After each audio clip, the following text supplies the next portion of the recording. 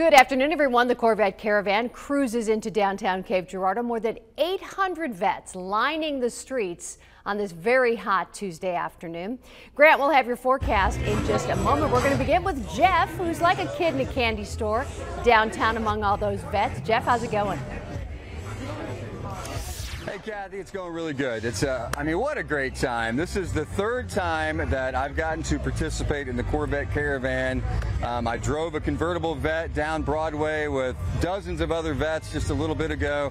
And as you can see, we are on Main Street in downtown Cape Girardeau, and it's uh, Vette Central. There are Vettes everywhere. I'll get out of the way here and let you look around because there's tons of eye candy here. They're all different years of Vettes uh, here in downtown Cape Girardeau, people from all over uh, the United States and the world. We understand that there's uh, a Vette from uh, the Philippines here.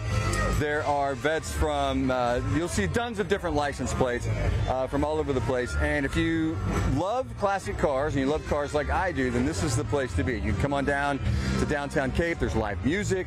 There is uh, food trucks down here, and then there is plenty of Corvettes to check out. Now, this is part of the Corvette Caravan, as we've mentioned.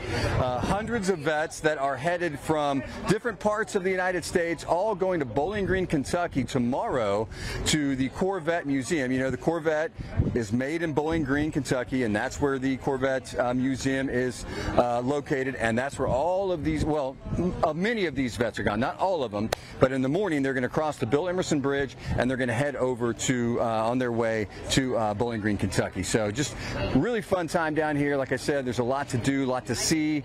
There's uh, cold beverages, there's food, and if you want something to do tonight and don't mind sweating a little bit, then this is the place to be. So Kathy, with that, I'll send it back to you.